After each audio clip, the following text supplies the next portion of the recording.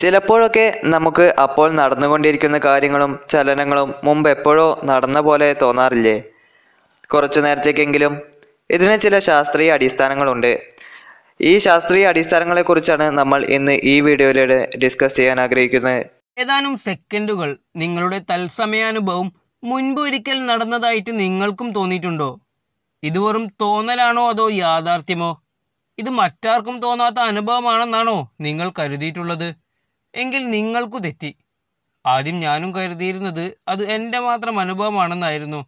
മറ്റുള്ളവരോട് പറഞ്ഞപ്പോഴാണ് അവർക്കും ഇതേ അനുഭവമുള്ളതായി അവർ പങ്കുവച്ചത്. അതിനുള്ള ശാസ്ത്രീയ കാരണങ്ങൾ അറിയാൻ നിങ്ങൾ ശ്രമിച്ചിട്ടുണ്ടോ? എങ്കിൽ നമുക്കതിന്റെ യാഥാർത്ഥ്യത്തിലേക്ക് കടക്കാം.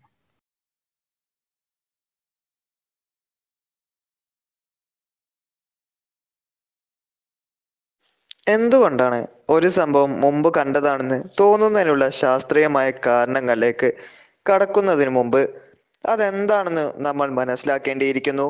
ഒരു വസ്തുവിനെയോ അല്ലെങ്കിൽ ഒരു സന്ദർഭത്തെയോ ഇതിനു മുമ്പ് കണ്ടതായി തോന്നുന്ന ഒരു പ്രതിഭാസമാണിത്. ഇത് ഫ്രഞ്ച് വേർഡായ ദേജാവു എന്നാണ് അറിയപ്പെടുന്നത്. ഈ വാക്കിന്റെ അർത്ഥം തന്നെ ഓൾറെഡി സീൻ എന്നാണ്.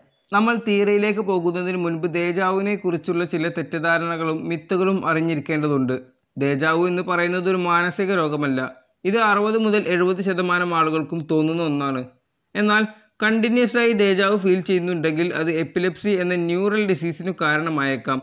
അതുകൊണ്ട് ദേജാവു എപ്പോഴും തോന്നുന്നുണ്ടെങ്കിൽ മെഡിക്കൽ അസിസ്റ്റൻസ് ആവശ്യപ്പെടുന്നത് നന്നായിരിക്കും. അടുത്തതായിട്ട് പറയാനുള്ളത് ഇതൊരു സൂപ്പർ നാച്ചുറൽ പവർ ഒന്നുമല്ല എന്ന യാഥാർത്ഥ്യമാണ്. അതുപോലെ തന്നെ കഴിഞ്ഞ ജന്മത്തിലെ ഓർമ്മകളാണ് ഇവയെല്ലാം എന്ന് പറയപ്പെടുന്നുണ്ടെങ്കിലും അതിന് ശാസ്ത്രീയമായ അടിസ്ഥാനമൊന്നുമില്ല. പൂർവികരിൽ നിന്ന് കിട്ടിയ കഴിവാണ് എന്നാണ് മറ്റൊരു വാദം.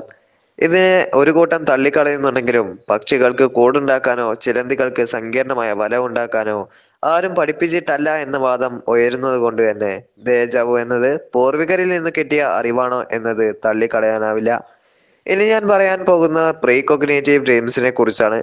അതിനെ മിത്ത് എന്നോ സയന്റിഫിക് എക്സ്പ്ലനേഷൻ എന്നോ വിളിക്കാനാവില്ല. നമ്മൾ വരാൻ പോകുന്ന സ്വപ്നത്തിൽ കാണുകയും പിന്നീട് അത് നേരിട്ട് കാണുമ്പോൾ ദേജാവു എന്ന ഫീലിംഗ് അനുഭവപ്പെടുകയും ചെയ്യുന്നു എന്നാണ് ഈ കൺസെപ്റ്റ് പറയുന്നത്. പക്ഷേ ഡ്രീം സൈക്കോളജി പ്രകാരം നമ്മൾ കാണാത്ത ഒന്നിനെ കുറിച്ച് ഒരിക്കലും സ്വപ്നം കാണില്ല എന്നാണ് കണ്ടുപിടിച്ചിട്ടുള്ളത്. എന്തായാലും ഇതൊക്കെ അവിടെ നിൽക്കട്ടെ. ഇനി നമുക്ക് ശാസ്ത്രം അംഗീകരിച്ച കാരണങ്ങളിലേക്ക് കടക്കാം. റീസൺ നമ്പർ വൺ സാധാരണയായി നമ്മൾക്കൊരു വസ്തുവിനെ കാണണമെങ്കിൽ നമ്മുടെ കണ്ണിനുള്ളിലുള്ള റെക്റ്റിന എന്ന ഭാഗത്ത് നമ്മൾ കാണുന്നതിന്റെ ഇമേജ് ഫോം ചെയ്യണം. ഇമേജ് ഫോം ചെയ്തു കഴിഞ്ഞാൽ അവിടുന്ന് നമ്മൾ കണ്ട ഇമേജിനെ സംബന്ധിച്ചുള്ള സിഗ്നൽ നേരെ തലച്ചോറിലേക്ക് അയക്കും. അതിനുശേഷം തലച്ചോറിൽ നിന്ന് കണ്ണിലേക്ക് തിരിച്ച് സിഗ്നൽ അയക്കുകയും ചെയ്യും. എന്നാലേ നമുക്ക് ആ വസ്തുവിനെ കാണാൻ സാധിക്കുകയുള്ളൂ. ഒരു കണ്ണിന് ഒരു റെക്റ്റിനയാണുള്ളത് നമ്മൾ ഒരു വസ്തുവിനെ സാധാരണ കാണുമ്പോൾ കാണുന്നതിനെക്കുറിച്ചുള്ള വിവരങ്ങൾ നമ്മുടെ രണ്ട് കണ്ണും ഒരേ സമയമാണ് തലച്ചോറിലേക്ക് ഏക്കാറുള്ളത് അതുപോലെ തന്നെ തിരിച്ചു കണ്ണിലേക്കും ഒരേ സമയമാണ് ഏക്കാറുള്ളത് പക്ഷേ നമുക്കൊരു കാര്യം മുൻപ് കണ്ടതുപോലെ തോന്നുന്ന അവസ്ഥയിൽ വലത് കണ്ണ് ഇടത് കണ്ണിനേക്കാൾ വേഗത്തിൽ ഇമേജ് ഫോം ചെയ്യും അല്ലെങ്കിൽ തിരിച്ചോ.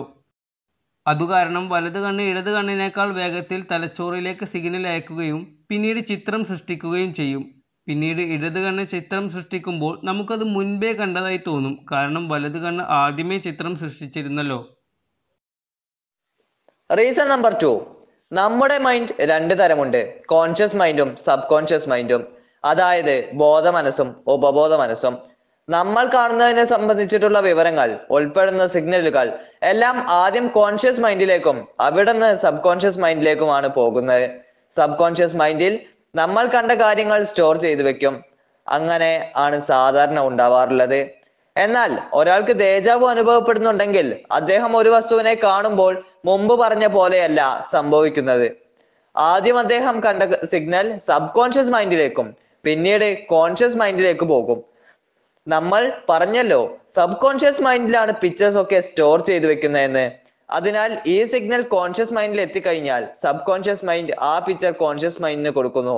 കാരണം സബ് കോൺഷ്യസ് മൈൻഡിൽ അത് ആദ്യമേ സ്റ്റോർ ചെയ്തു വെച്ചിരിക്കുന്നു. അതുകൊണ്ടാണ് ആ പിക്ചർ അല്ലെങ്കിൽ ആ ഇമേജ് മുമ്പ് എവിടെയോ കണ്ട പോലെ നമുക്ക് തോന്നുന്നത്. എല്ലാവർക്കും ഈ വീഡിയോ ഇഷ്ടപ്പെട്ടെന്ന് വിചാരിക്കുന്നു. ഇഷ്ടപ്പെട്ടെങ്കിൽ തീർച്ചയായും ലൈക്ക് ചെയ്യുക.